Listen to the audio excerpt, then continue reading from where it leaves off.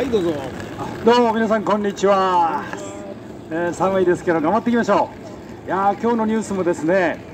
えー、まあパレスチナ、えー、紛争、えー、ですね。まあ無人機による攻撃ってね無人機ヨルダン米兵3人が、えー、亡くなり他に死傷者ね何十人と出ましたけれども無人機による攻撃って最近多いですね。要するに自分たちに犠牲者がないわけで相手がだけ犠牲になると。こういう戦い方なんですね。無人機による戦い、ね、自分たちは被害者がない。相手だけと。でも相手もそういうことをやってきますから無人機対無人機だけども結局亡くなるのは民間人であったりするわけですね、えー、ですから、えー、この戦い方が変わってきましたね。無人機によるね。えー、戦い、えー、非常にですね、えー、ちょっとか大変なことですね、これもね、え自分たちは大丈夫だと思ってまた、ね、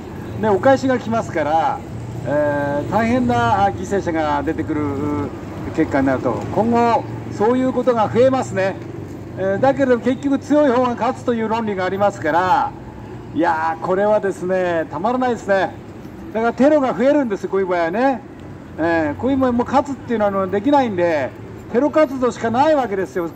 テロの活動家攻めるっていうのもね酷なことありますね。強い方が勝つとかって言ったらテロしかないんですからね。いや本当にですがむごいです、えー、勝った方が強い方が勝つという論理の中で対抗するためにはねそうしかないんですね。皆さんそしてこういったね無人機を利用すると。いうこともですねお返しがまた出て大きいんですね。アメリカ絶対許さんと言ってるわけですよ。だがこれね結局強い方が勝つという論理の中でテロしかないというこの論理分かるような気がしますしますけれどもですねむごいです。国際社会しっかりしないとですねますますこれがね火種が大きくなって、え大変な第3次世界大戦ということになりかねない。皆さんぜひこの戦争とは何か平和とは何かそして最後に日本の安全保障どうなんだということをしっかりと考えていかなければですね、えー、今後日本も立ち行かないことになる可能性があります。どうか皆さん、